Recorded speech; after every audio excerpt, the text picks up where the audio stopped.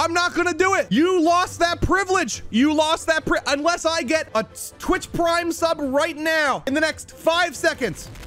Four, three, two, one. Why? Why did you Twitch Prime sub, bro?